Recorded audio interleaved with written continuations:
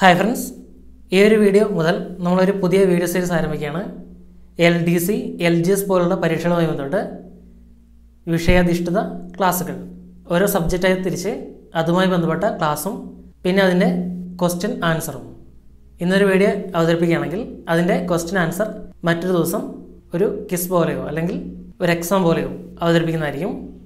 അപ്പോൾ ഇതിൽ നമ്മൾ ആദ്യം നോക്കുന്നത് ആയിരത്തി എണ്ണൂറ്റി അമ്പത്തേഴിലെ ഒന്നാം സ്വാതന്ത്ര്യ സമരത്തെക്കുറിച്ചാണ് മുൻപ് നടന്ന എൽ ഡി സി പരീക്ഷയുടെയും എൽ ജി എസ് പരീക്ഷയുടെയും മുഖ്യ ഒരു വിഷയമായിരുന്നു ഈ ആയിരത്തി എണ്ണൂറ്റി അമ്പത്തേഴിലെ വിപ്ലവം. അപ്പോൾ ഇതേക്കുറിച്ചുള്ള വിശദമായിട്ടുള്ള ക്ലാസ്സാണ് ഈ ഒരു വിഭാഗത്തിൽ ഉൾപ്പെടുത്തുന്നത്. ആയിരത്തി എണ്ണൂറ്റി അമ്പത്തേഴിലെ മഹത്തായ വിപ്ലവം. ഇന്ന് നമുക്ക് ഇതിനെക്കുറിച്ചുള്ള ക്ലാസ് നോക്കാം. പിന്നീട് ഇതിന്റെ ക്യൂസ് അല്ലെങ്കിൽ എക്സാം നടത്താവുന്നതാണ്. കാലത്തെ തിരിച്ചു വയ്ക്കാനുള്ള യാഥാസ്ഥിതിക ഘടകങ്ങളുടെ ശ്രമം. എൻ എസ് സെൻ ആയിരത്തി എണ്ണൂറ്റി അമ്പത്തേഴിലെ വിപ്ലവത്തെക്കുറിച്ച് എസ് എൻ സെൻ പറഞ്ഞതാണ് കാലത്ത് തിരിച്ചു വയ്ക്കാനുള്ള യാഥാസ്ഥിതിക ഘടകങ്ങളുടെ ശ്രമം എന്നത്. ഒന്നാം സ്വാതന്ത്ര്യ സമരം ആയിരത്തി എണ്ണൂറ്റി അമ്പത്തേഴിൽ ബ്രിട്ടീഷ് ഈസ്റ്റ് ഇന്ത്യ കമ്പനി ഭരണത്തിനെതിരെ അതേ കമ്പനി സൈന്യത്തിലെ ശിപായിമാർ എന്ന് വിളിച്ചിരുന്ന ഇന്ത്യക്കാരായ ഭടന്മാർ തുടങ്ങുകയും മുഗൾ രാജാവ് ബഹദൂർ ഷായെ നേതൃത്വത്തിൽ അവരോധിച്ച് സ്വാതന്ത്ര്യം പ്രഖ്യാപിക്കുകയും ഉത്തര മധ്യേന്ത്യയിൽ ആകെ പരക്കുകയും ചെയ്ത ഒരു സായുധ സമരമാണ് ആയിരത്തി എണ്ണൂറ്റമ്പത്തേഴിലെ ഒന്നാം സ്വാതന്ത്ര്യ സമരം എന്നറിയപ്പെടുന്നത്. ശിപ്പായി ലഹള എന്നാണ് ബ്രിട്ടീഷുകാർ ഈ സമരത്തെ വിളിച്ചിരുന്നത്. മഹാവിപ്ലവം ഇന്ത്യൻ ലഹള ആയിരത്തി എണ്ണൂറ്റമ്പത്തേഴിലെ കലാപം എന്നിങ്ങനെ പല പേരുകളിലും ഈ കലാപം അറിയപ്പെടുന്നു. മത്സര പരീക്ഷകളെ മുൻനിർത്തി ആയിരത്തി എണ്ണൂറ്റമ്പത്തേഴിലെ ഒന്നാം സ്വാതന്ത്ര്യ സമരം എന്ന ഭാഗത്ത് വരുന്ന പ്രധാനപ്പെട്ട എല്ലാ കാര്യങ്ങളും ഇതിൽ ഉൾപ്പെടുത്തിയിരിക്കുന്നു. മത്സര പരീക്ഷകൾക്ക് തയ്യാറെടുക്കുന്നവർക്ക് തീർച്ചയായും പ്രയോജനപ്പെടുന്ന വിധത്തിലാണ് ഇത് തയ്യാറാക്കിയിരിക്കുന്നത്. എല്ലാവർക്കും ഒരായിരം വിജയാശംസകൾ. ഫ്യൂഡൽ ഇന്ത്യയുടെ അവസാന ചിറകടി. ജവഹർലാൽ നെഹ്റുവിന്റെ വാക്കുകളാണ് ഫ്യൂഡൽ ഇന്ത്യയുടെ അവസാനത്തെ ചിറകടി. ബ്രിട്ടീഷ് കൊളോണിയൽ ഭരണത്തിനെതിരെ ഇന്ത്യയുടെ വിവിധ ഭാഗങ്ങളിൽ വിവിധ വിഭാഗം ജനങ്ങൾ നടത്തിയിരുന്ന ചെറുത്തുനിൽപ്പുകളുടെ പൂർത്തീകരണമായിരുന്നു ആയിരത്തി എണ്ണൂറ്റി അമ്പത്തേഴിലെ വിപ്ലവം. ഇന്ത്യയുടെ ഉത്തര മധ്യഭാഗങ്ങളിലാണ് ഈ കലാപം ശക്തി ആർജിച്ചത്. ശിപ്പായിമാർ എന്നറിയപ്പെട്ട ഇംഗ്ലീഷ് ഈസ്റ്റ് ഇന്ത്യ കമ്പനിയുടെ സൈന്യത്തിലെ ഇന്ത്യൻ പട്ടാളക്കാരാണ് കലാപം ആരംഭിച്ചതെങ്കിലും ക്രമേണ മറ്റു വിഭാഗങ്ങളിലേക്കും ഇത് പടർന്നു. ഇന്ത്യയുടെ ഉത്തര മധ്യഭാഗങ്ങളിലാണ് ഈ കലാപം ശക്തി ആർജിച്ചത്. പ്രധാന കേന്ദ്രങ്ങളും അവിടെ കലാപം അടിച്ചമർത്തിയ ബ്രിട്ടീഷ് ജനറൽമാരെ ഒന്ന് പരിചയപ്പെടാം. ഡൽഹിയിൽ നിക്കോൾസനും ഹെഡ്സനുമായിരുന്നു കലാപം അടിച്ചമർത്തിയത്. ഡൽഹിയിൽ നിക്കോൾസനും ഹെഡ്സനുമാണ് കലാപം അടിച്ചമർത്തിയത്. കാൺപൂരിൽ ക്യാമ്പ് ബെല്ലാണ് കലാപം അടിച്ചമർത്തിയ ബ്രിട്ടീഷ് ജനറൽ. കാൺപൂരിൽ ക്യാപ് ബെൻ ജാൻസിൽ അടിച്ചമർത്തിയത് ഹ്യൂഗ്രോസ് ആണ് ആണ് ജാൻസിയിൽ കലാപം അടിച്ചമർത്തിയത്. ആര? വില്യം ടൈലറും വിൻസൻ അയറും. ആരയിൽ വില്യം ടൈറും വില്യം ടൈലറും വിൻസൻ അയറും ചേർന്നിട്ടാണ് കലാപം അടിച്ചമർത്തിയത്. ഡൽഹി നിക്കോൾസനും ഹെഡ്സനും കാൺപൂരിൽ ക്യാബ് ജാൻസിൽ ഹ്യൂറോസ്. ആരയിൽ വില്യം ടൈലറും വിൻസൻ അയറും. കലാപത്തിന്റെ സ്വഭാവം. ആയിരത്തി എണ്ണൂറ്റി എണ്ണൂറ്റമ്പതിലെ കലാപത്തിന്റെ സ്വഭാവത്തെ സംബന്ധിച്ച് ചരിത്രകാരന്മാർക്കിടയിൽ വ്യത്യസ്ത അഭിപ്രായങ്ങൾ നിലനിൽക്കുന്നു. ഇത് വളരെ പ്രധാനപ്പെട്ടാണ് ഈ കലാപത്തെക്കുറിച്ച് മറ്റുള്ള ആൾക്കാർ പറഞ്ഞ കാര്യങ്ങൾ. ഇതെല്ലാം നോക്കിയിരിക്കണം. ആസൂത്രിതമായ ഇന്ത്യയുടെ ഒന്നാമത്തെ സ്വാതന്ത്ര്യ സമരം. വി. ഡി. സവർക്കറിന്റെ വാക്കുകളാണ് ആസൂത്രിതമായ ഇന്ത്യയുടെ ഒന്നാമത്തെ സ്വാതന്ത്ര്യ സമരം. വി. ഡി. സവർക്കർ അഭിപ്രായപ്പെട്ടാണ് ആസൂത്രിതമായ ഇന്ത്യയുടെ ഒന്നാമത്തെ സ്വാതന്ത്ര്യ സമരം. പരിഷ്കാരവും ആ പരിഷ്കരത്വവും തമ്മിലുള്ള സംഘർഷം. T R Holmes T R ഹോംസിന്റെ വരികളാണ് പരിഷ്കാരവും ആ പരിഷ്കരത്വവും തമ്മിലുള്ള സംഘർഷം. ടി ആർ ഹോംസ് ഹിന്ദുക്കളുടെ പ്രശ്നങ്ങളെ മുതലെടുത്ത മുഹദീയരുടെ ഗൂഢാലോചന. ജെയിംസ് ഓഡ്രാമിന്റെ വാക്കുകളാണ്. James Outram. ഹിന്ദുക്കളുടെ പ്രശ്നങ്ങളെ മുതലെടുത്ത മുഹമ്മദീയരുടെ ഗൂഢാലോചന. ജെയിംസ് ഓഡ്രാം. ആദ്യത്തേതോ ദേശീയമോ സ്വാതന്ത്ര്യ സമരമോ ആയിരുന്നില്ല. R C Majumdar. R C Majumdar പറഞ്ഞാണ് ആദ്യത്തേതോ ദേശീയമോ സ്വാതന്ത്ര്യ സമരവും ആയിരുന്നില്ല. R C Majumdar. കാലത്തെ തിരിച്ചു വയ്ക്കാനുള്ള യാഥാസ്ഥിതിക ഘടകങ്ങളുടെ ശ്രമം. S N Sen. S N Sen പറഞ്ഞാണ് കാലത്തെ തിരിച്ചു വയ്ക്കാനുള്ള യാഥാസ്ഥിതിക ഘടകങ്ങളുടെ ശ്രമം. ഫ്യൂഡൽ ഇന്ത്യയുടെ അവസാന ചിറകടി. ജവഹർലാൽ നെഹ്റുവിന്റെ വാക്കുകളാണ്. ഫ്യൂഡൽ ഇന്ത്യയുടെ അവസാനത്തെ ചിറകിടയിൽ ഫ്യൂഡൽ കെട്ടുപാടുകൾക്കെതിരായ സൈനിക കർഷക കലാപം. എം എൻ റോയ് പറഞ്ഞാണ് ഫ്യൂഡൽ കെട്ടുപാടുകൾക്കെതിരായ സൈനിക കർഷക കലാപം. M N Roy. ആയിരത്തി എണ്ണൂറ്റമ്പത്തേഴിലെ വിപ്ലവത്തെ ദേശീയ സമരമെന്ന് വിശേഷിപ്പിച്ച ഒരേ ഒരു യൂറോപ്യൻ ബെഞ്ചമിൻ ഡിസ്രേലി ആയിരുന്നു. ആയിരത്തി എണ്ണൂറ്റമ്പത്തേഴിലെ വിപ്ലവത്തെ ദേശീയ സമരം എന്ന് വിശേഷിപ്പിച്ച ഒരേ ഒരു യൂറോപ്യനാണ് ബെഞ്ചമിൻ ഡിസ്രേലി. Benjamin Disraeli. ആയിരത്തി എണ്ണൂറ്റമ്പത്തേഴിലെ വിപ്ലവത്തെ ശിബായി ലഹള എന്ന് ആദ്യം വിളിച്ചത് ബ്രിട്ടീഷ് ഉദ്യോഗസ്ഥനായിരുന്ന ഏൽ സ്റ്റാൻലി ആയിരുന്നു. ആയിരത്തി എണ്ണൂറ്റമ്പത്തേഴിലെ വിപ്ലവത്തെ ശിപായി ലഹള എന്ന് ആദ്യം വിളിച്ചത് ബ്രിട്ടീഷ് ഉദ്യോഗസ്ഥനായ ഏൽ സ്റ്റാൻലിയാണ്. ശിപായി ലഹള എന്ന് വിളിച്ചത് ഏൽ സ്റ്റാൻലിയും ആദ്യമായി ദേശീയ സമരം എന്ന് വിളിച്ച യൂറോപ്പിനാണ് ബെഞ്ചമിൻ ഡിസ്രേലിയും. ഇനി ഈ വിപ്ലവത്തിന്റെ കാരണങ്ങളെന്ന് പരിശോധിക്കാം. വിപ്ലവത്തിന്റെ കാരണങ്ങൾ. രാഷ്ട്രീയവും സാമൂഹ്യവും സാമ്പത്തികവും സൈനികവും ഭരണപരവും സാംസ്കാരികവുമായ നിരവധി ഘടകങ്ങൾ ഈ വിപ്ലവത്തിന് കാരണമായി. ഡൽഹൌസി പ്രഭു നടപ്പിലാക്കിയ ദത്തവകാശ നിരോധന നിയമം. ഡൽഹൌസി പ്രഭു നടപ്പിലാക്കിയ ദത്തവകാശ നിരോധന നിയമം. ആയിരത്തി എണ്ണൂറ്റി അമ്പത്തിരണ്ടിൽ ഡൽഹൌസി നിയമിച്ച ഇനാം കമ്മീഷൻ ബോംബെയിൽ നിന്ന് ഇരുപതിനായിരം എസ്റ്റേറ്റുകൾ കണ്ടുകെട്ടി. ആയിരത്തി എണ്ണൂറ്റി അമ്പത്തിരണ്ടിൽ ഡൽഹൌസി നിയമിച്ച ഇനാം കമ്മീഷൻ ബോംബെയിൽ നിന്ന് ഇരുപതിനായിരം എസ്റ്റേറ്റുകൾ കണ്ടുകെട്ടി. മറാത്തയിലെ അവസാന പേഷ്വായിരുന്ന ബാജിറാവു രണ്ടാമന്റെ ദത്തുപുത്രൻ നാനാ സാഹിബിന് പെൻഷൻ നിഷേധിച്ചു. മറാത്തയിലെ അവസാനത്തെ പേഷ്വായിരുന്ന ബാജിറാവു രണ്ടാമന്റെ ദത്തുപുത്രൻ നാനാ സാഹിബിന് പെൻഷൻ നിഷേധിച്ചു. ഗംഗാധർ റാവുവിന്റെ മരണശേഷം ദത്തവകാശ നിരോധന നിയമപ്രകാരം ജാൻസി പിടിച്ചെടുത്തു. ഗംഗാധർ റാവുവിന്റെ മരണശേഷം ദത്തവകാശ നിരോധന നിയമപ്രകാരം ജാൻസി പിടിച്ചെടുത്തു.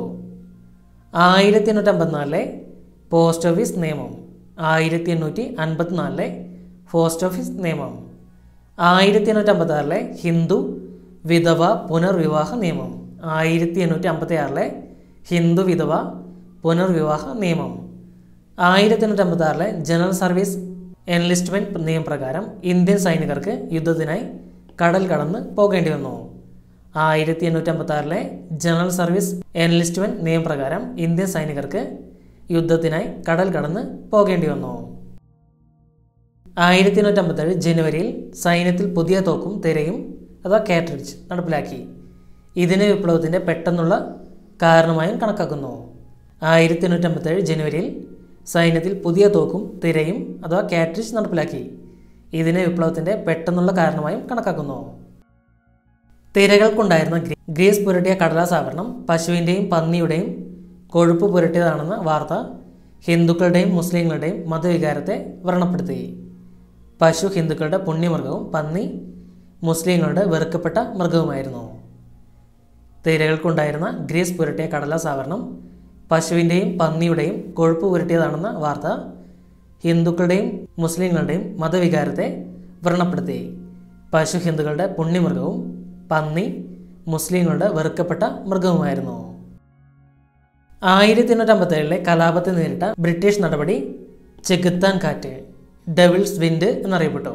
അപ്പോൾ ഡെവിൾസ് വിൻഡ് എന്നാൽ ആയിരത്തി എണ്ണൂറ്റി അമ്പത്തേഴിലെ കലാപത്തെ നേരിട്ട ബ്രിട്ടീഷ് നടപടിയാണ്. ആയിരത്തി എണ്ണൂറ്റി അമ്പത്തേഴിലെ കലാപത്തെ നേരിട്ട ബ്രിട്ടീഷ് നടപടിയാണ് ചെകുത്താൻ കാറ്റ് അഥവാ ഡെവിൾസ് വിൻഡ് എന്ന പേരിൽ അറിയപ്പെടുന്നത്. ആയിരത്തി എണ്ണൂറ്റി അമ്പത്തേഴിലെ ഡൽഹിയിലെ കശാപുകാരൻ എന്നാണ് ഡൽഹി കീഴടക്കിയ നിക്കോൾസൺ അറിയപ്പെട്ടത്. ആയിരത്തി എണ്ണൂറ്റി അമ്പത്തേഴിലെ ഡൽഹിയിലെ കശാപ്പുകാരൻ എന്നറിയപ്പെട്ടത് ഡൽഹി കീഴടക്കിയ നിക്കോൾസൺ ആണ്. ഇനി ഈ ഭാഗത്തെ ഏറ്റവും പ്രധാനപ്പെട്ട ഒരു ഭാഗമാണ് കലാപ കേന്ദ്രങ്ങളും നേതാക്കളും. പ്രധാനപ്പെട്ട കലാപ കേന്ദ്രങ്ങളും അവിടെ നയിച്ചവർ ആരൊക്കെയാണെന്നാണ് ഭാഗത്ത് നോക്കുന്നത്. ആദ്യം ഡൽഹി. അവിടെ ബഹദൂർ ഷാ രണ്ടാമനും ജനറൽ ഭക്തുഖാനുമായിരുന്നു നേതാക്കൾ. ഡൽഹിയിൽ നയിച്ചത് ബഹദൂർ രണ്ടാമനും ജനറൽ ഭക്തുഖാനുമാണ് ബഹദൂർ രണ്ടാമന്റെ തൂലിക നാമം സഫർ എന്നാണ്. ആയിരത്തി എണ്ണൂറ്റി അമ്പത്തെട്ടിൽ റങ്കൂണിലേക്ക് നാട് കടത്തപ്പെട്ട അദ്ദേഹം ആയിരത്തി എണ്ണൂറ്റി അറുപത്തിരണ്ടിൽ അവിടെ വെച്ച് മരണപ്പെട്ടു സഫർ എന്ന തൂലികനാമമുള്ള ബഹദൂഷ രണ്ടാമൻ ആയിരത്തി എണ്ണൂറ്റി അമ്പത്തെട്ടിൽ റങ്കൂണിലേക്ക് നാട് കടത്തപ്പെട്ടു. അദ്ദേഹം ആയിരത്തി എണ്ണൂറ്റി അറുപത്തിരണ്ടിൽ അവിടെ വെച്ച് മരണപ്പെടുകയുണ്ടായി. ജാൻസി. ജാൻസിയിൽ നയിച്ചത് റാണി ലക്ഷ്മിബായി ആണ് റാണി ലക്ഷ്മിബായി ആണ് ജാൻസിയിൽ നയിച്ചത്. അവിടെ യഥാർത്ഥ പേര് മണികർണിക എന്നാണ്. ആയിരത്തി എണ്ണൂറ്റി അമ്പത്തേഴിലെ വിപ്ലവത്തിന്റെ ജവാൻ ഓഫ് ആർക്ക് എന്നറിയപ്പെടുന്നു. ആയിരത്തി എണ്ണൂറ്റി അമ്പത്തേഴിലെ വിപ്ലവത്തിന്റെ ജവാൻ ഓഫ് ആർക്ക് എന്നറിയപ്പെടുന്നത് റാണി ലക്ഷ്മിബായി അഥവാ ജാൻസി റാണിയാണ്. ആയിരത്തി എണ്ണൂറ്റി അമ്പത്തെട്ട് ജൂൺ പതിനേഴിന് ഗോളിയോറിൽ മരണപ്പെട്ടു. അവർ ആയിരത്തി എണ്ണൂറ്റി അമ്പത്തെട്ട് ജൂൺ പതിനേഴിന് ഗോളിയോറിൽ മരണപ്പെട്ടു. കാൺപൂർ. കാൺപൂരിൽ നയിച്ചത് നാനാ സാഹിബാണ്. നാനാ സാഹിബാണ് കാൺപൂരിൽ നയിച്ചത്. നാനാ സാഹിബിന്റെ യഥാർത്ഥ പേര് ദോന്തുപന്ത് എന്നാണ്. ദോന്തുപന്ത് എന്നാണ് നാനാസാഹിബിന്റെ യഥാർത്ഥ പേര്. അദ്ദേഹം പിന്നീട് നേപ്പാളിലേക്ക് പോയി. കാൺപൂരിൽ നയിച്ചത് നാനാസാഹിബാണ്. ജഗദീഷ്പൂർ ആര? കൻവർ സിംഗ് ആണ് നയിച്ചത്. ജഗദീഷ്പൂരിലും ആരയിലും കൻവർ സിംഗ് ആണ് നയിച്ചത്. അദ്ദേഹം ബീഹാറിലാണ് ജനിച്ചത്. ആയിരത്തി എണ്ണൂറ്റി അമ്പത്തേഴിലെ വിപ്ലവത്തിന്റെ വന്ധ്യവയോധികൻ എന്നറിയപ്പെടുന്നു. കൻവർ സിംഗ് ആയിരത്തി എണ്ണൂറ്റി അമ്പത്തേഴിലെ വിപ്ലവത്തിന്റെ വന്ധ്യവയോധികൻ എന്ന പേരിൽ അറിയപ്പെടുന്നതാണ് ഫൈസാബാദ് മൗലവി അഹമ്മദുള്ള. ഫൈസാബാദിൽ നയിച്ചത് മൗലവി അഹമ്മദുള്ളയാണ്. മൗലവി അഹമ്മദുള്ളയാണ് ഫൈസാബാദിൽ നയിച്ചത്. അവധ് ബീഗം ഹസ്രത് മഹൽ. അവധിൽ നയിച്ചത് ബീഗം ഹസ്രത് മഹലാണ്. അവധ് ബീഗം ഹസ്രത് മഹൽ. ബറേലി ഖാൻ ബഹദൂർ. ഖാൻ ബഹദൂറാണ് ബറേലിയിൽ നയിച്ചത്. മാൻഡസോർ ഫിറോഷ. ഫിറോഷയാണ് മാൻഡസോറിൽ നയിച്ചത്. മുറാദാബാദ്. അബ്ദുൽ അലി ഖാൻ. അബ്ദുൽ അലി ഖാനാണ് മുറാദാബാദിൽ നയിച്ചത്. മധുരയിൽ നയിച്ചത് ദേവി സിംഗ് ആണ് മധുരയിൽ നയിച്ചത് ദേവി സിംഗ് ആണ് മീററ്റിൽ നയിച്ചത് കദം സിംഗ് ആണ് കദം സിംഗ് ആണ് മീററ്റിൽ നയിച്ചത്. മധുരയിൽ ദേവി സിംഗും മീററ്റിൽ കദം സിംഗുമാണ്. അലഹബാദ്. ലിയാഖത്ത് അലി. ലിയാഖത്ത് അലിയാണ് അലഹബാദിൽ കലാപം നയിച്ചത്. അപ്പോൾ ഈ പ്രധാനപ്പെട്ട കാര്യങ്ങൾ ഓർത്തിരിക്കുക. കുറച്ചുകൂടി ഉണ്ട്. ഹരിയാന. റാവു തുലാറാം. റാവു തുലാറാമാണ് ഹരിയാനയിൽ നയിച്ചത്. കോട്ട. രാജസ്ഥാനിലെ കോട്ട. ജയ് ദയാലും ഹർദയാലും ജയ് ദയാലും ഹർദയാലുമാണ് കോട്ടയിൽ നയിച്ചത്. അപ്പോൾ ഈ കലാപ കേന്ദ്രങ്ങളും നേതാക്കളെ ഓർത്തിരിക്കുക. വിപ്ലവത്തിന്റെ തുടക്കവും വളർച്ചയും. വിപ്ലവത്തിന്റെ ആദ്യ വെടി പൊട്ടിച്ചത് മംഗൾ പാണ്ഡെ ആയിരുന്നു ആയിരത്തി എണ്ണൂറ്റി അൻപത്തേഴ് മാർച്ച് ഇരുപത്തൊമ്പതിന് ബംഗാളിലെ ബാരക്പൂരിലെ സൈനിക ക്യാമ്പിൽ വെച്ച് അദ്ദേഹം ബ്രിട്ടീഷ് സൈനിക ഉദ്യോഗസ്ഥനായ ലഫ്റ്റനന്റ് ബോയെ വെടിവെച്ചു. തുടർന്ന് മംഗൾ പാണ്ഡെയെ ബ്രിട്ടീഷുകാർ തൂക്കിലേറ്റുകയും അങ്ങനെ അദ്ദേഹം ആയിരത്തി എണ്ണൂറ്റി അമ്പത്തേഴ് കലാപത്തിന്റെ ആദ്യ രക്തസാക്ഷിയാവുകയും ചെയ്തു. ആയിരത്തി എണ്ണൂറ്റി അമ്പത്തേഴ് മെയ് പത്തിന് മീററ്റിലാണ് വിപ്ലവം ആരംഭിച്ചത്. മൂന്നാം കുതിരപ്പട യൂണിറ്റിലെ ശിപായിമാരാണ് ഇതിന് തുടക്കം കുറിച്ചത്.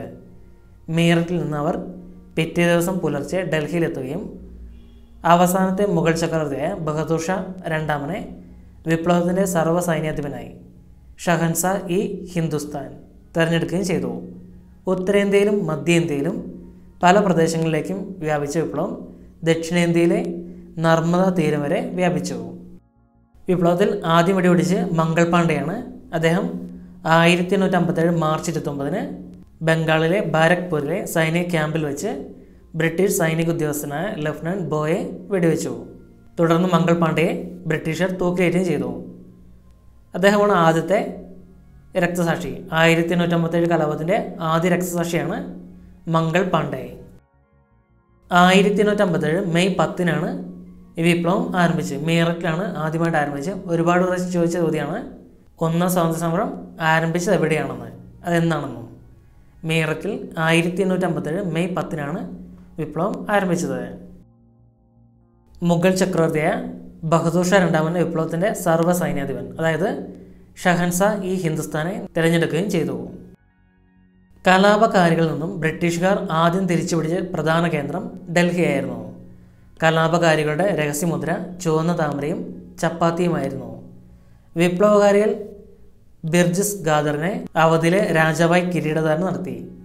ആയിരത്തി എണ്ണൂറ്റി അമ്പത്തെട്ട് ഡിസംബറിൽ വിപ്ലവത്തെ ബ്രിട്ടീഷുകാർ അടിച്ചമർത്തി.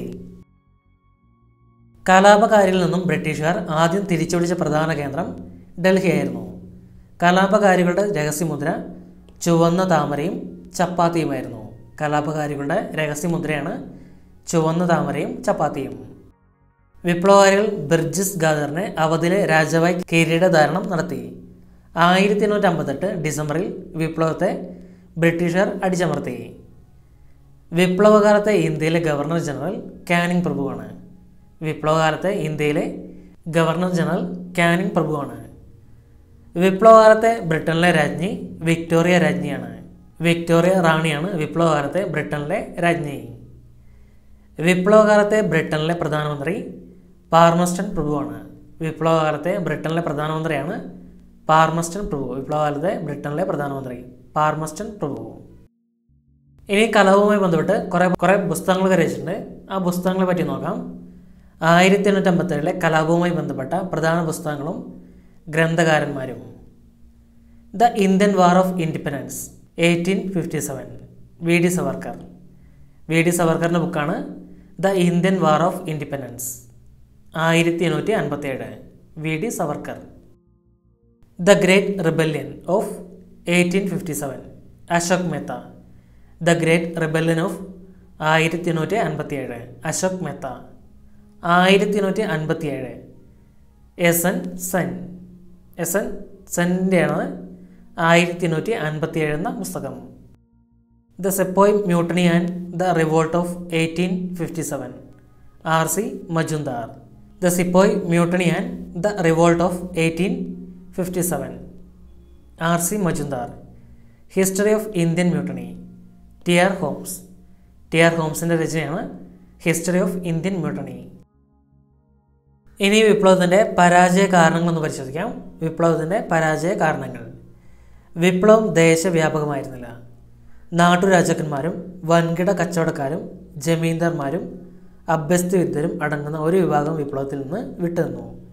പലരും കലാപം അടിച്ചമർത്താൻ ബ്രിട്ടീഷുകാരെ സഹായിക്കുകയും ചെയ്തു. വിപ്ലവം ദേശവ്യാപകമായിരുന്നില്ല.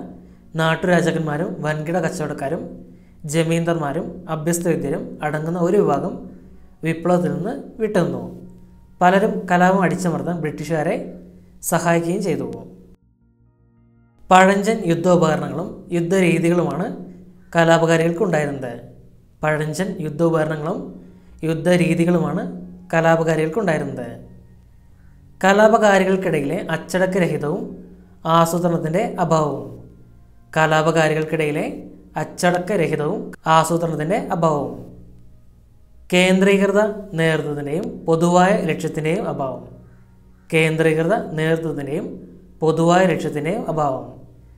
ബ്രിട്ടന്റെ വിഭവശേഷി സാങ്കേതിക മേന്മ ശക്തന്മാരായ സൈനിക മേധാവികൾ ആധുനിക യുദ്ധരീതികൾ ഗതാഗത വാർത്താവിനിമയ സൗകര്യങ്ങൾ ബ്രിട്ടന്റെ വിഭവശേഷി സാങ്കേതിക മേന്മ ശക്തരായ സൈനിക മേധാവികൾ ആധുനിക യുദ്ധരീതികൾ ഗതാഗത വാർത്താവിനിമയ സൗകര്യങ്ങൾ.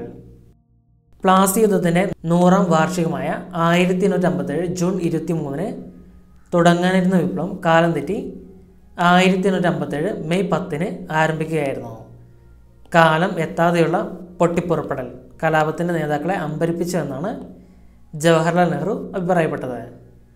പ്ലാസി യുദ്ധത്തിന്റെ നൂറാം വാർഷികമായ ആയിരത്തി എണ്ണൂറ്റമ്പത്തേഴ് ജൂൺ ഇരുപത്തി മൂന്നിന് തുടങ്ങാനിരുന്ന വിപ്ലവം കാലം തെറ്റി ആയിരത്തി എണ്ണൂറ്റി അമ്പത്തേഴ് മെയ് പത്തിന് ആരംഭിക്കുകയായിരുന്നു. കാലം എത്താതെയുള്ള പൊട്ടിപ്പുറപ്പെടൽ കലാപത്തിന്റെ നേതാക്കളെ അമ്പരിപ്പിച്ചു എന്നാണ് ജവഹർലാൽ നെഹ്റു അഭിപ്രായപ്പെട്ടത്. ഫ്യൂഡൽ രാജ്യമായിരുന്ന ഇന്ത്യയും മുതലാളിത്ത രാജ്യമായിരുന്ന ബ്രിട്ടനും തമ്മിൽ ഏറ്റുമുട്ടുമ്പോൾ മെച്ചപ്പെട്ട വ്യവസ്ഥയായ മുതലാളിത്തം ഫ്യൂഡൽ വ്യവസ്ഥയ്ക്ക് മേൽ വിജയം നേടുമെന്നത് മുൻകൂട്ടി തന്നെ പറയാൻ കഴിയും എന്നാണ് എ ആർ ദേശായി അഭിപ്രായപ്പെട്ടത്. ഫ്യൂഡൽ രാജ്യമായിരുന്ന ഇന്ത്യയും മുതലാളിത്ത രാജ്യമായിരുന്ന ബ്രിട്ടനും തമ്മിൽ ഏറ്റുമുട്ടുമ്പോൾ മെച്ചപ്പെട്ട വ്യവസ്ഥയായ മുതലാളിത്തം ഫ്യൂഡൽ വ്യവസ്ഥയ്ക്ക് മേൽ വിജയം നേടും എന്നത് മുൻകൂട്ടി തന്നെ പറയാൻ കഴിയും എന്നാണ് എ ആർ ദേശായി അഭിപ്രായപ്പെട്ടത്. ഈ ഒരു വിപ്ലവവുമായി ബന്ധപ്പെട്ട സ്റ്റാമ്പുകൾ നോക്കാം. സ്വാതന്ത്ര്യത്തിന്റെ ആദ്യ ദശകത്തിൽ തന്നെ റാണി ലക്ഷ്മിബായി അനുസ്മരിച്ചുകൊണ്ട് സർക്കാർ സ്റ്റാമ്പ് ഇറക്കി. പതിനഞ്ച് പൈസയായിരുന്നു വില. പിന്നീട് ആയിരത്തി തൊള്ളായിരത്തി എൺപത്തിനാല് ഇന്ത്യൻ സ്വാതന്ത്ര്യ സമരം എന്ന വിഭാഗത്തിൽ മംഗൾ പാണ്ഡെ നാനാ സാഹിബ് താന്തിയ തോപ്പി എന്നിവരുടെ സ്മരണാർത്ഥവും സ്റ്റാമ്പുകൾ ഇറക്കി. അൻപത് പൈസയായിരുന്നു വില. വിപ്ലവത്തിന്റെ ഫലങ്ങൾ നോക്കാം. മുഗൾ രാജവംശത്തിന് അന്ത്യം കുറിച്ചു. ബ്രിട്ടീഷ് ഭരണത്തിന്റെ ഘടനയും നയങ്ങളും മാറി. ബ്രിട്ടീഷ് സൈന്യത്തിൽ യൂറോപ്യന്മാരുടെ എണ്ണം വർദ്ധിപ്പിച്ചു. വിഭജിച്ചു വരിക്കൽ നയം നടപ്പിലാക്കി. ആധുനിക ദേശീയ പ്രസ്ഥാനത്തിന് വഴിതെളിച്ചു. മുഗൾ രാജവംശത്തിന് അന്ത്യം കുറിച്ചു. ബ്രിട്ടീഷ് ഭരണത്തിന്റെ ഘടനയും നയങ്ങളും മാറി. ബ്രിട്ടീഷ് സൈന്യത്തിൽ യൂറോപ്യന്മാരുടെ എണ്ണം വർദ്ധിച്ചു. വിഭജിച്ചു വരിക്കൽ നയം നടപ്പിലാക്കി. ആധുനിക ദേശീയ പ്രസ്ഥാനത്തിന് വഴിതെളിച്ചു. ആയിരത്തി എണ്ണൂറ്റി അമ്പത്തെട്ട് ഓഗസ്റ്റ് രണ്ടിന് ബ്രിട്ടീഷ് പാർലമെന്റ് പാസ്സാക്കിയ മെച്ചപ്പെട്ട ഇന്ത്യ ഗവൺമെന്റിനുള്ള നിയമം. Act for the better government of India അനുസരിച്ച് ഇന്ത്യയിൽ ഇംഗ്ലീഷ് ഈസ്റ്റ് ഇന്ത്യ കമ്പനിയുടെ ഭരണം അവസാനിക്കുകയും ഇന്ത്യയുടെ ഭരണം ബ്രിട്ടീഷ് രാജ്ഞി ഏറ്റെടുക്കുകയും ചെയ്തു. ഈ നിയമത്തെ ആധുനിക ഇന്ത്യയിലെ മാഗ്നാകാർട്ട എന്ന് വിശേഷിപ്പിക്കുന്നു. ആയിരത്തി എണ്ണൂറ്റി അമ്പത്തെട്ട് ഓഗസ്റ്റ് രണ്ടിന് ബ്രിട്ടീഷ് പാർലമെന്റ് പാസാക്കിയ മെച്ചപ്പെട്ട ഇന്ത്യ ഗവൺമെന്റിനുള്ള നിയമം. Act for the better government of India അനുസരിച്ച് ഇന്ത്യയിൽ ബ്രിട്ടീഷ് ഈസ്റ്റ് ഇന്ത്യ കമ്പനിയുടെ ഭരണം അവസാനിക്കുകയും ഇന്ത്യയുടെ ഭരണം ബ്രിട്ടീഷ് രാജ്ഞി ഏറ്റെടുക്കുകയും ചെയ്തു. ഈ നിയമത്തെ ആധുനിക ഇന്ത്യയിലെ മാഗ്ന കാർട്ട എന്ന് വിശേഷിപ്പിക്കുന്നു. തുടർന്ന് ഗവർണർ ജനറൽ പദവി വൈസ്രോയ് എന്നാക്കി മാറ്റി. രാജകീയ പ്രതിനിധി റെപ്രസെന്റേറ്റീവ് ഓഫ് ദി ക്രൗൺ എന്നതാണ് വൈസ്രോയ് എന്ന വാക്കിന്റെ അർത്ഥം. അങ്ങനെ കാനിങ് പ്രഭു ബ്രിട്ടീഷ് ഇന്ത്യയിലെ ആദ്യത്തെ വൈസ്രോയായി മാറി. ഇവിടെ കുറേ പോയിന്റുകൾ ഓർത്തിരിക്കാൻ. ആധുനിക ഇന്ത്യയിലെ മാഗ്ന കാർട്ട എന്താണെന്ന് ഓർത്തിരിക്കുക. ഗവർണർ ജനറൽ പദവി ഒഴിവാക്കി വൈസ്രോയ് ആയി മാറി എന്ന കഥയും ഓർത്തിരിക്കുക. രാജകീയ പ്രതിനിധി അഥവാ റെപ്രസെന്റേറ്റീവ് ഓഫ് ദി ക്രൗൺ എന്നാണ് വൈസ്രോയ് എന്ന വാക്കിന്റെ അർത്ഥം. കാനിങ് പ്രഭുവാണ് ബ്രിട്ടീഷ് ഇന്ത്യയിലെ ആദ്യത്തെ വൈസ്രോയ്. ബ്രിട്ടീഷ് ഇന്ത്യയിലെ ആദ്യത്തെ വൈസ്രോയാണ് കാനിങ് പ്രഭു. ബ്രിട്ടീഷ് മന്ത്രിസഭയിലെ ഒരംഗത്തിന് secretary of secretary of state for India എന്ന പദവി നൽകി ഇന്ത്യയുടെ ഭരണത്തിന്റെ ഉത്തരവാദിത്തം ഏൽപ്പിച്ചു. എഡ്വേർഡ് ഹെൻറി സ്റ്റാൻലി ആയിരുന്നു ആദ്യത്തെ secretary of state for India. അദ്ദേഹം തന്നെയാണ് ആയിരത്തി എണ്ണൂറ്റി അമ്പത്തെട്ടിലെ നിയമം ബ്രിട്ടീഷ് പാർലമെന്റിൽ അവതരിപ്പിച്ചതും. ദർബി പ്രഭു ആയിരുന്നു ഈ നിയമം പാസ്സാക്കുന്ന സമയത്ത് ബ്രിട്ടന്റെ പ്രധാനമന്ത്രി. ബ്രിട്ടീഷ് മന്ത്രിസഭയിലെ ഒരംഗത്തിന് secretary of state for India എന്ന പദവി നൽകി ഇന്ത്യയുടെ ഭരണത്തിന്റെ ഉത്തരവാദിത്തം ഏൽപ്പിച്ചു. എഡ്വേർഡ് ഹെൻറി സ്റ്റാൻലി ആയിരുന്നു ആദ്യത്തെ secretary of state for India. ആദ്യത്തെ secretary of state for India Edward Henry Stanley ആയിരുന്നു. എഡ്വേർഡ് ഹെൻറി സ്റ്റാൻലി തന്നെയാണ് ആയിരത്തി എണ്ണൂറ്റി അമ്പത്തെട്ടിലെ നിയമം ബ്രിട്ടീഷ് പാർലമെന്റിൽ അവതരിപ്പിച്ചതും. ദർബി പ്രഭു ആയിരുന്നു ഈ നിയമം പാസ്സാക്കുന്ന സമയത്തെ ബ്രിട്ടന്റെ പ്രധാനമന്ത്രി. ആയിരത്തി എണ്ണൂറ്റി അമ്പത്തെട്ട് നവംബർ ഒന്നിന് വിക്ടോറിയ രാജ്ഞി ഇന്ത്യക്കാരോട് നടത്തിയ വിളംബരം കാനിം പ്രഭു അലഹബാദിൽ ദർബാർ വിളിച്ച് വായിച്ചു. ഇതിൽ ഇന്ത്യക്കാരുടെ അവകാശങ്ങൾ സംരക്ഷിക്കുമെന്ന് രാജ്ഞി ഉറപ്പു നൽകി. ആയിരത്തി എണ്ണൂറ്റി അമ്പത്തെട്ട് നവംബർ ഒന്നിന് വിക്ടോറിയ രാജ്ഞി ഇന്ത്യക്കാരോട് നടത്തിയ വിളംബരം കാനിങ് പ്രഭു അലഹബാദിൽ ദർബാർ വിളിച്ച് വായിച്ചു. ഇതിൽ ഇന്ത്യക്കാരുടെ അവകാശങ്ങൾ സംരക്ഷിക്കുമെന്ന് രാജ്ഞി ഉറപ്പു നൽകി. അങ്ങനെ പരാജയപ്പെട്ടുവെങ്കിലും ആയിരത്തി എണ്ണൂറ്റി അമ്പത്തേഴിലെ വിപ്ലവം ഇന്ത്യ ചരിത്രത്തിലെ ഒരു നാഴികക്കല്ലായി മാറി. ഇന്ത്യയുടെ പിൽക്കാല ചരിത്രത്തിൽ ദൂരവ്യാപകമായി നിരവധി ഫലങ്ങൾ സൃഷ്ടിക്കാൻ ഇതിന് കഴിഞ്ഞു. അങ്ങനെ പരാജയപ്പെട്ടുവെങ്കിലും ആയിരത്തി എണ്ണൂറ്റി അമ്പത്തേഴിലെ വിപ്ലവം ഇന്ത്യ ചരിത്രത്തിലെ ഒരു നാഴികക്കല്ലായി മാറി. ഇന്ത്യയുടെ പിൽക്കാല ചരിത്രത്തിൽ ദൂരവ്യാപകമായ നിരവധി ഫലങ്ങൾ സൃഷ്ടിക്കാൻ ഇതിന് കഴിഞ്ഞു. ഇനി ഈ വിപ്ലവത്തിലെ പ്രധാനപ്പെട്ട നേതാക്കളൊന്ന് പരിചയപ്പെടാം. വിശദമായി പരിചയപ്പെടാം. ആദ്യം താന്തിയ തോപ്പി താന്തിയ തോപ്പിയെക്കുറിച്ച് നോക്കാം.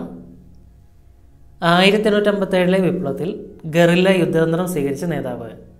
ആയിരത്തി എണ്ണൂറ്റി അമ്പത്തേഴിലെ വിപ്ലവത്തിൽ ഗറില്ല യുദ്ധതന്ത്രം സ്വീകരിച്ച നേതാവാണ് താന്തിയ തോപ്പി രാമചന്ദ്ര പാണ്ഡ്രൻ എന്നായിരുന്നു യഥാർത്ഥ പേര്. താന്തിയ തോപ്പിയുടെ ശരിക്കും പേര് രാമചന്ദ്ര പാണ്ഡ്രൻ എന്നായിരുന്നു. ആദ്യഘട്ടത്തിൽ കാൺപൂരിൽ നാനാ സാഹിബിനൊപ്പം പിന്നീട് ഗോളിയോറിൽ ഝാൻസി റാണിക്കൊപ്പവും പടനയിച്ചു ആദ്യഘട്ടത്തിൽ കാൺപൂരിൽ നാനാ സാഹിബിനൊപ്പവും പിന്നീട് ഗോളിയോറിൽ ഝാൻസി റാണിക്കൊപ്പവും പടനയിച്ചു മഹാരാഷ്ട്രയിലെ നാസിക്കിനടുത്ത് യോളയിൽ പാണ്ഡ്രങ്കിന്റെയും രുക്മ ബായിയുടെയും മകനായി ആയിരത്തി എണ്ണൂറ്റി പതിനാലിലാണ് താന്തിയ തോപ്പി ജനിച്ചത്. മറാത്ത പേഷ ബാജ്റാവു രണ്ടാമന്റെ അനുചരരിൽ ഒരാളായിരുന്നു പിതാവായ പാണ്ഡ്രങ്ക്. ബാജ്റാവുവിന്റെ ദത്തുപുത്രനായ നാനാ സാഹിബിന്റെ അടുത്ത അനുയായി മാറി താന്തിയ തോപ്പി. ബാജിറാവുവിന് ഇംഗ്ലീഷ് ഈസ്റ്റ് ഇന്ത്യ കമ്പനി നൽകി വന്ന പെൻഷൻ അദ്ദേഹത്തിന്റെ മരണശേഷം ദത്തുപുത്രനായ നാനാ സാഹിബിന് നിഷേധിച്ചതോടെയാണ് നാനാ സാഹിബിനൊപ്പം താന്തിയ തോപ്പിയും ഈസ്റ്റ് ഇന്ത്യ കമ്പനിക്കെതിരെ തിരിയുന്നത്. ഒളിയുദ്ധമായിരുന്നു താന്തിയ തോപ്പിയുടെ യുദ്ധമുറ. ഒളിയുദ്ധമായിരുന്നു താന്തിയ തോപ്പിയുടെ യുദ്ധമുറ. ജനറൽ ഹാവ്ലോക് നാനാ സാഹിബിനെ പരാജയപ്പെടുത്തി. കാൺപൂർ തിരിച്ചുപിടിച്ചപ്പോൾ താന്തിയ തോപ്പി നാനാ സാഹിബിനൊപ്പം ഫത്തേഫൂരിലേക്ക് കടക്കുകയായിരുന്നു. ജനറൽ ഹാവ്ലോക് നാനാ സാഹിബിനെ പരാജയപ്പെടുത്തി. എന്നാൽ താന്തിയ തോപ്പി ഫത്തേഫൂറിൽ തുടർന്നില്ല. കപിലയിലും ഗോളിയോറിലുമെത്തി അദ്ദേഹം സേനയെ സജ്ജമാക്കി വീണ്ടും കാൺപൂരിലെത്തി കമ്പനി പട്ടാളത്തെ നേരിട്ടു. ജനറൽ വിൻദാമിന് നേതൃത്വത്തിലുള്ള കമ്പനി പട്ടാളത്തെ കീഴടക്കി കാൺപൂർ പിടിച്ചെടുക്കാവുന്ന ഘട്ടം വരെ ആ മുന്നേറ്റം തുടർന്നെങ്കിലും അപകടം മനസ്സിലാക്കിയ ബ്രിട്ടീഷുകാർ ലക്നൌവിൽ നിന്ന് സർ കോളിൻസിന്റെ നേതൃത്വത്തിൽ കൂടുതൽ പട്ടാളത്തെ വരുത്തി പ്രതിരോധം തീർക്കുകയായിരുന്നു. കടുത്ത പോരാട്ടങ്ങൾക്കൊടുവിൽ താന്തിയ തോപ്പിയെ കമ്പനി പട്ടാളം പിടികൂടി. സുഹൃത്തായ മാൻസിംഗ് താന്തിയ തോപ്പിയെ ഒറ്റുകൊടുക്കുകയായിരുന്നു എന്നാണ് ചരിത്ര പുസ്തകങ്ങളിൽ കാണുന്നത്. ആയിരത്തി എണ്ണൂറ്റി അമ്പത്തൊമ്പത് ഏപ്രിൽ പതിനെട്ടിന് ശിവപുരിയിൽ വെച്ചിട്ട് ശിവപുരിയിൽ വെച്ച് താന്തിയ തോപ്പിയെ ബ്രിട്ടീഷുകാർ തൂക്കിലേറ്റി. സുഹൃത്തായ മാൻസിംഗ് ആണ് താന്തിയ തോപ്പിയെ ഒറ്റുകൊടുത്തത് ആയിരത്തി എണ്ണൂറ്റി അമ്പത്തൊമ്പത് ഏപ്രിൽ പതിനെട്ടിന് ശിവപുരിയിൽ വെച്ചിട്ട് താന്തിയ തോപ്പിയെ ബ്രിട്ടീഷുകാർ തൂക്കിലേറ്റി. അടുത്ത് നോക്കാനുള്ളത് ജാൻസി റാണിയെ കുറിച്ചാണ്. ജാൻസി റാണി. ആയിരത്തി എണ്ണൂറ്റി അമ്പത്തേഴിലെ സമരം ചരിത്രത്തിന് സമ്മാനിച്ച ഏറ്റവും ജ്വലിക്കുന്ന സ്മരണയാണ് ജാൻസി റാണി. കുതിരപ്പുറത്ത് സഞ്ചരിച്ച് എതിരാളികളെ സാഹസ്യമായി നേരിട്ട റാണി ലക്ഷ്മിബായിയുടെ വീരകഥ ഒരു മിത്ത് പോലെ ചരിത്രത്തെയും മറികടന്ന് പ്രചരിക്കുന്നു. ആയിരത്തി എണ്ണൂറ്റി മുപ്പത്തഞ്ച് നവംബർ പത്തൊമ്പതിന് വാരാണസിക്കടുത്ത് കാശിയിൽ മൊറോപ്പാൻ താമ്പയുടെയും ഭാഗീരഥിബായ് താമ്പയുടെയും മകളായാണ് റാണി ലക്ഷ്മിബായി ജനിച്ചത്. മണികർണിക എന്നാണ് കുട്ടിക്കാലത്തെ പേര്. ലക്ഷ്മിബായിയുടെ റാണി ലക്ഷ്മിബായിയുടെ കുട്ടിക്കാലത്തെ പേരാണ് മണികർണിക എന്നത്. മോറോപ്പാൻ താമ്പ ബൈത്തൂരിൽ പേഷോ ബാജിറാവു രണ്ടാമന്റെ അടുത്ത അനുയായിയായിരുന്നു. നാലാം വയസ്സിൽ അമ്മ മരിച്ചതോടെ മണികർണികയെ പേഷ്വ കൊട്ടാരത്തിലേക്ക് കൊണ്ടുവന്ന് സ്വന്തം മകളെപ്പോലെ വളർത്തി. ചബേലി എന്ന ഓമന പേരിലാണ് കൊട്ടാരത്തിൽ മണികർണിക വളർന്നത്. അപ്പോൾ ചബേലി എന്നത് ജാൻസി റാണിയുടെ ഓമന പേരാണ്. ചബേലി. മണികർണിക എന്നത് കുട്ടിക്കാലത്തെ പേരും ചബേലി എന്നത് ഓമന പേരുമാണ്. മികച്ച വിദ്യാഭ്യാസത്തോടൊപ്പം അശ്വാഭ്യാസവും ആർച്ചറിയും ഉൾപ്പെടെ സേനാ പരിശീലനവും നേടി. പേഷയുടെ ദത്തുപുത്രനായ നാനാ സാഹിബിനും താന്തിയ തോപ്പിക്കുമാണ് മണികർണകയും കൊട്ടാരത്തിൽ വളർന്നത്. ഝാൻസിയിലെ രാജ ഗംഗാധർ റാവു നേവാൾക്കർ ആയിരത്തി എണ്ണൂറ്റി നാൽപ്പത്തിരണ്ടിൽ വിവാഹം ചെയ്തതോടെയാണ് മണികർണിക ഝാൻസിയിലെ റാണിയായത്. രാജ ഗംഗാധർ റാവു നേവാൾക്കർ അദ്ദേഹത്തിന്റെ റാണിയാണ് റാണി ലക്ഷ്മിബായി. വിവാഹത്തിന് ശേഷം ലക്ഷ്മിബായി എന്ന പേര് മാറ്റി. ആയിരത്തി എണ്ണൂറ്റി അമ്പത്തൊന്നിൽ ഒരു ആൺകുഞ്ഞിന് ജന്മം നൽകിയെങ്കിലും നാല് മാസത്തിനകം കുട്ടി മരിച്ചു. മകന്റെ മരണം താങ്ങാൻ കഴിയാതെ രാജ ഗംഗാധർ റാവു ആയിരത്തി എണ്ണൂറ്റി അമ്പത്തി മൂന്നിൽ മരിച്ചു. ഗംഗാധർ റാവു മരിച്ചതോടെ ദത്തെടുക്കൽ നിരോധന നിയമപ്രകാരം ജാൻസി ഏറ്റെടുക്കാൻ ബ്രിട്ടീഷ് ഈസ്റ്റ് ഇന്ത്യ കമ്പനി തീരുമാനിച്ചു. ആയിരത്തി എണ്ണൂറ്റി അമ്പത്തിനാല് മാർച്ചിൽ ലക്ഷ്മിബായിക്ക് അറുപതിനായിരം രൂപ പെൻഷൻ അനുവദിക്കുകയും അവരോട് കൊട്ടാരം വിടാൻ കമ്പനി ആവശ്യപ്പെടുകയും ചെയ്തു. എന്നാൽ ഈസ്റ്റ് ഇന്ത്യ കമ്പനിയുടെ ആവശ്യം തള്ളിയ റാണി ബ്രിട്ടീഷുകാർക്കെതിരെ പട നയിക്കാനുള്ള ഒരുക്കങ്ങൾ നടത്തുകയായിരുന്നു. ആയിരത്തി എണ്ണൂറ്റി അമ്പത്തേഴിൽ കലാപം പൊട്ടിപ്പുറപ്പെട്ടതോടെ സ്വന്തമായി സംഘടിപ്പിച്ച സേനയുമായി ലക്ഷ്മിബായി കമ്പനി പട്ടാളത്തോട് ഏറ്റുമുട്ടി. ആയിരത്തി എണ്ണൂറ്റി അമ്പത്തെട്ട് മാർച്ച് ഇരുപത്തി മൂന്ന് സർ ഹ്യൂഗ്രോസിന്റെ നേതൃത്വത്തിലുള്ള കമ്പനി പട്ടാളം ജാൻസി ആക്രമിച്ചു. താന്തിയ തോപ്പിയുടെ നേതൃത്വത്തിലുള്ള സേന റാണിയെ സഹായിക്കാനെത്തിയെങ്കിലും പരാജയപ്പെട്ടു.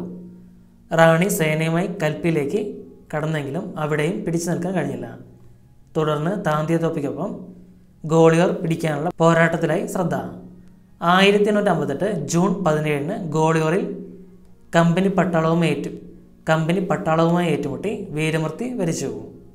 ആയിരത്തി എണ്ണൂറ്റി അമ്പത്തെട്ട് ജൂൺ പതിനേഴിന് ഗോളിയോറിൽ കമ്പനി പട്ടാളവുമായി ഏറ്റുമുട്ടി വീരമൃത്തി വരിച്ചു. അടുത്ത മംഗൾ പാണ്ഡെയാണ് മംഗൾ പാണ്ഡെ. ആയിരത്തി എണ്ണൂറ്റമ്പത്തേഴിലെ വിപ്ലവത്തിന്റെ ആദ്യത്തെ രക്തസാക്ഷി മംഗൾ പാണ്ഡെ. ആയിരത്തി എണ്ണൂറ്റി ഇരുപത്തേഴ് ജൂലൈ പത്തൊമ്പതിന് ഉത്തർപ്രദേശിലെ നാഗോയിലാണ് മംഗൾ പാണ്ഡെയുടെ ജനനം. ഭൂമിക ബ്രാഹ്മിൺ കുടുംബത്തിൽ ജനിച്ച മംഗൾ പാണ്ഡെ തികഞ്ഞ ഹിന്ദുമത വിശ്വാസിയായിരുന്നു. മതവിശ്വാസത്തോടൊപ്പം സ്വന്തം നാടിനുള്ള അതിരില്ലാത്ത സ്നേഹവും മംഗൾ പാണ്ഡെയിൽ ജ്വലിച്ചു നിന്നു ആയിരത്തി എണ്ണൂറ്റി നാൽപ്പത്തി ഒൻപതിലാണ് Mangal Pandey English East India കമ്പനിയുടെ ബംഗാൾ നേറ്റീവ് ഇൻഫൻട്രിയിൽ ശിപ്പായിയായി ചേർന്നത്. ബി എൻ ഐയുടെ നാൽപ്പത്തിനാലാം റെജിമെന്റിലായിരുന്നു ജോലി. ബി എൻ ഐയുടെ നാൽപ്പത്തിനാലാം റെജിമെന്റിലായിരുന്നു മംഗൾ പാണ്ഡെയ്ക്ക് ജോലി.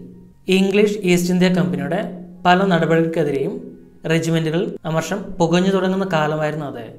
ആയിരത്തി എണ്ണൂറ്റി അമ്പത്തേഴ് ആകുമ്പോഴേക്കും ഇംഗ്ലീഷ് ഈസ്റ്റ് ഇന്ത്യ കമ്പനിക്കെതിരെ ഒരു കലാപത്തിന് തന്നെയുള്ള സാധ്യതകൾ തെളിഞ്ഞു വന്നു. എന്നാൽ എല്ലാ നീക്കങ്ങളും രഹസ്യമായിരുന്നു. എന്നതിനാൽ വെള്ളക്കാരുടെ മൂക്കിന് താഴെയായിട്ട് പോലും കലാപത്തിന്റെ സൂചനകളൊന്നും മുൻകൂട്ടി അറിയാൻ കമ്പനി പട്ടാളത്തിനായില്ല പുറമേ എല്ലാം ശാന്തമായിരുന്നു. ഇതിനിടെയായിരുന്നു തോക്കിൻ തോക്കിൽ ഒരുതരം പുതിയ തിരകൾ ഉപയോഗിക്കാൻ റെജിമെന്റുകൾക്ക് നിർദ്ദേശം വന്നത്.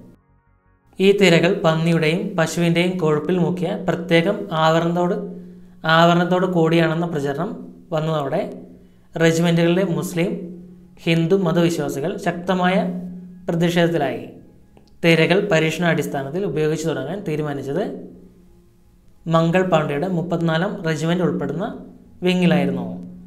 റെജിമെന്റിലാകെ പുകഞ്ഞ അമർഷം ഒരു പൊട്ടിത്തെറിയായി പുറത്തു വന്നത് മംഗൾ പാണ്ഡയിലൂടെയായിരുന്നു ആയിരത്തി എണ്ണൂറ്റി അമ്പത്തേഴ് മാർച്ച് ഇരുപത്തൊമ്പതിന് ആയുധധാരിയായി പരേഡ് ഗ്രൗണ്ടിലേക്ക് ചാടി ഇറങ്ങിയ മംഗൾ പാണ്ഡെ വെള്ളക്കാരനായ ഒരു മേലുദ്യോഗസ്ഥനെ ആക്രമിക്കുകയും സ്വയം രക്തസാക്ഷ്യത്തിന് ശ്രമിക്കുകയും ചെയ്തതാണ് കടുമരത്തിലേക്കുള്ള ആദ്യ സ്വാതന്ത്ര്യ സമര ഭടന്റെ യാത്രയ്ക്ക് വഴിതെളിച്ചത്. അവിചാരിതമായ നീക്കത്തിലൂടെ വെള്ളക്കാരെ വിറപ്പിച്ച മംഗൾ പാണ്ഡെ ചരിത്രകാരന്മാരിൽ സൃഷ്ടിച്ച ആശയക്കുഴപ്പവും വലുതാണ്. പാണ്ഡെയുടെ പോരാട്ടത്തെ ഇന്ത്യയുടെ സ്വാതന്ത്ര്യ സമര ചരിത്രത്തിന്റെ ഭാഗമായി പരിഗണിക്കാതെ ഒട്ടേറെ പരിഗണിക്കാത്ത ഒട്ടേറെ ചരിത്രകാരന്മാരുണ്ട്.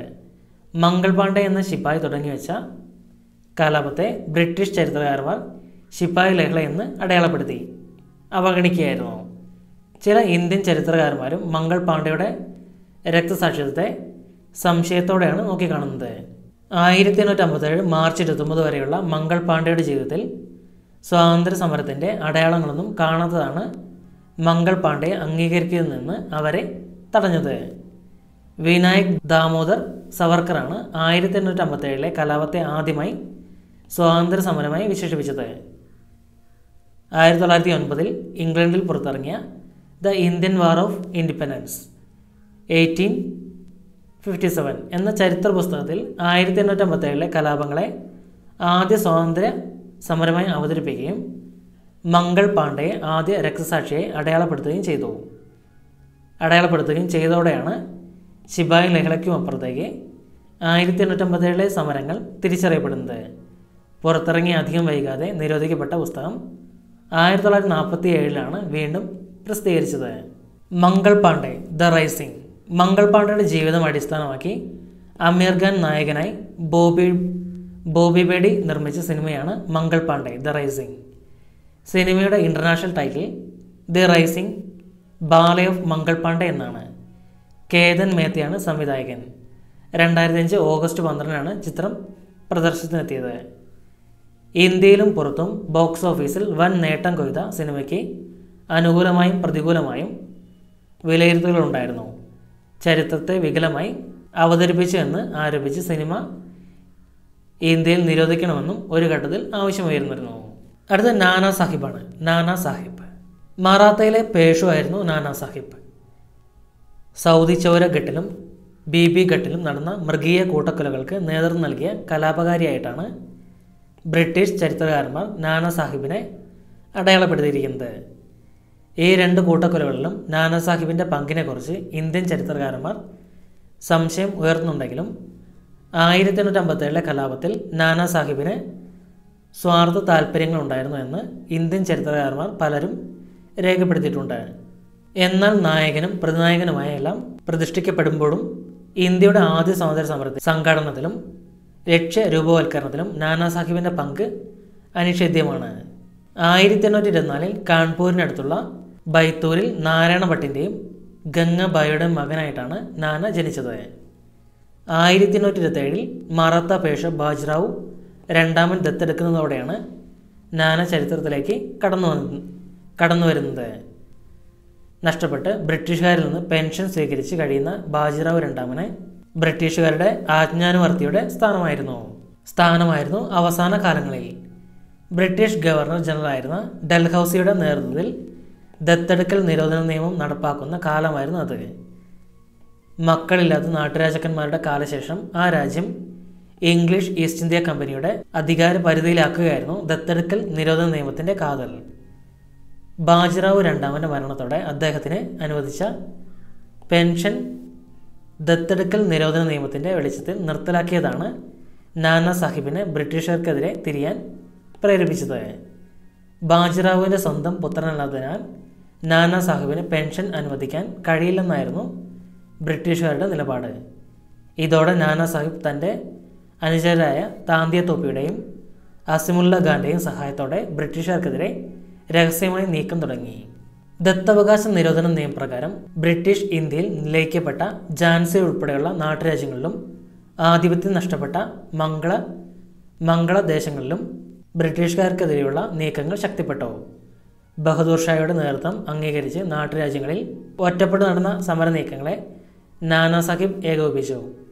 കാൺപൂരിലെ സമരങ്ങൾ താന്തിയ തോപ്പിയെയും അസ്മുല്ല ഖാനെയും സഹായികളാക്കി നിർത്തി. സ്വയം നേതൃത്വം ഏറ്റെടുക്കുകയും ചെയ്തു. ആയിരത്തി എണ്ണൂറ്റി അമ്പത്തേഴ് ജൂൺ ജൂൺ ഏഴിന് കാൺപൂർ സ്വതന്ത്രമായതായി നാനാ സാഹിബ് പ്രഖ്യാപിച്ചു. ഏറ്റുമുട്ടലുകളുടെ തുടക്കത്തിൽ നാനാ സാഹിബും കൂട്ടരും വൻ മുന്നേറ്റങ്ങൾ തന്നെയാണ് നടത്തിയത്. ബ്രിട്ടീഷുകാരുടെ പ്രതിരോധം തകർത്ത മുന്നേറ്റങ്ങളോട് മുന്നേറ്റങ്ങൾക്കിടെയാണ് സൗദിച്ചര ഗഡ് കൂട്ടക്കൊല അരങ്ങേറിയത്. ജനറൽ വീലറുടെ നേതൃത്വത്തിൽ ഇംഗ്ലീഷ് ഈസ്റ്റ് ഇന്ത്യ കമ്പനി കാൺപൂരിൽ കലാപത്തെ നേരിടാൻ പ്രത്യേക ഒരുക്കങ്ങൾ മുൻകൂടി നടത്തിയിരുന്നു. കാൺപൂരിൽ ജനറൽ വീലറുടെ നേതൃത്വത്തിൽ തീർത്ത പ്രത്യേക സേനാത്താവളം വീലേഴ്സ് എൻഡാച്ച്മെന്റ് എന്ന് അറിയപ്പെടുന്നു. നാനയുടെ നേതൃത്വത്തിൽ സമരഭടന്മാർ വളഞ്ഞത് കമ്പനി പട്ടാളത്തിന്റെ കണക്കുകൂട്ടലുകൾക്കപ്പുറത്തായിരുന്നു രൂക്ഷമായ പോരാട്ടത്തിനൊടുവിൽ വീലർക്കും കൂട്ടാളികൾക്കും നാന മുന്നോട്ട് വെച്ച കീഴടങ്ങൽ കരാർ അംഗീകരിക്കേണ്ടി വന്നു. ആയുധം വെച്ച് കീഴടങ്ങിയാൽ സൗദി ചോരഘട്ട് വഴി അലഹബാദിലേക്ക് കടക്കാൻ സൗകര്യം ചെയ്യാമെന്നായിരുന്നു നാനയുടെ വാഗ്ദാനം. കരാർ പ്രകാരം കീഴടങ്ങിയ വീലറെയും കൂട്ടാളികളെയും അലഹബാദിലേക്ക് കടക്കാൻ അനുവദിക്കുന്നതിനിടെ ജൂൺ ഇരുപത്തിയേഴിന് സൗദിച്ചേര ഘട്ടിൽ വെച്ചുണ്ടായ സംഘർഷമാണ് കൂട്ടക്കൊലയിലേക്ക് നയിച്ചത്. സംഘർഷത്തിന് കാരണമായത് കീഴടങ്ങിയ ഭടന്മാരിൽ നിന്നുണ്ടായ പെട്ടെന്നുള്ള തിരിച്ചടിയാണ് എന്ന് ഇന്ത്യൻ ചരിത്രകാരന്മാരിൽ പലരും രേഖപ്പെടുത്തുമ്പോൾ നാന സാഹിബ് വീലറെയും സംഘത്തെയും രക്ഷപ്പെടുത്താനെന്ന വ്യാജേന കൊണ്ടുപോയി ചതിച്ചു കൊല്ലുകയായിരുന്നു എന്നാണ് ബ്രിട്ടീഷ് ചരിത്രകാരന്മാരുടെ പക്ഷം. സംഭവത്തിൽ രക്ഷപ്പെട്ട വീലറുടെ സംഘത്തിലെ സ്ത്രീകളെയും കുട്ടികളെയും കാൺപൂരിലെ ബേബി കട്ടിൽ തടവിലാക്കി. സംഭവത്തെ തുടർന്ന് കമ്പനി കാൺപൂരിൽ തിരിച്ചു കാൺപൂർ തിരിച്ചുപിടിക്കാൻ ജനറൽ ഹെൻറി ഹാവ്ലോക്കിന്റെ നേതൃത്വത്തിൽ കൂടുതൽ പട്ടാളത്തെ അയച്ചത് നാനാ സാഹിബിനും കൂട്ടർക്കും തിരിച്ചടിയായി. അധികം വൈകും മുൻപേ കാൺപൂർ കമ്പനി പട്ടാളം തിരിച്ചുപിടിച്ചു. തിരിച്ചടികൾ ശക്തമാവുന്നതിനിടെ ശക്തമാവുന്നതിനിടെയാണ് ആയിരത്തി എണ്ണൂറ്റി അമ്പത്തേഴ് ജൂലൈ പതിനഞ്ചിന് ബിബീഷർ കൂട്ടക്കൊല നടന്നത്. സൗദിജര ഘട്ടിൽ നിന്ന് രക്ഷപ്പെട്ട് ബീബിഗറിൽ പാർപ്പിച്ചിരുന്ന സ്ത്രീകളെയും കുട്ടികളെയും വധിച്ചതാണ് ബീബിലർ കൂട്ടക്കൊല എന്ന് അറിയപ്പെടുന്നത്. ഇതിന് നിർദ്ദേശം നൽകിയത് നാനാ സാഹിബാണെന്നാണ് ബ്രിട്ടീഷ് ബ്രിട്ടീഷ് ചരിത്രകാരന്മാർ രേഖപ്പെടുത്തിയിരിക്കുന്നത്. നാനാ സാഹിബിന്റെ അനുചരനായ അസമുല്ലഖാന്റെ നേതൃത്വത്തിലാണ് കൂട്ടക്കൊല നടന്നതെന്നും പറയപ്പെടുന്നുണ്ട്. ആയിരത്തി എണ്ണൂറ്റി അമ്പത്തേഴിലെ ഒന്നാം സ്വാതന്ത്ര്യ സമരത്തിലെ ഏറ്റവും ഏറ്റവും രക്തരൂക്ഷിത സംഭവമായാണ് രക്തരൂക്ഷിത സംഭവമായാണ് ബിബീലർ കൂട്ടക്കൊല പരിഗണിക്കപ്പെടുന്നത്. കലാപം അടിച്ചമർത്തി കാൺപൂർ തിരിച്ചുപിടിക്കാൻ കമ്പനി പട്ടാളത്തിന് കഴിഞ്ഞെങ്കിലും നാനാസാഹിബിനെ കണ്ടെത്താൻ കഴിഞ്ഞില്ല. അദ്ദേഹം നേപ്പാളിലേക്ക് പാലായനം ചെയ്തതായാണ് പൊതുവെ വിശ്വസിക്കപ്പെടുന്ന ചരിത്രം. എന്നാൽ നേപ്പാളിൽ എവിടെയാണെന്നോ എപ്പോഴായിരുന്നു അന്ത്യമെന്നോ കൃത്യമായി ചരിത്രം രേഖപ്പെടുത്തിയിട്ടില്ല.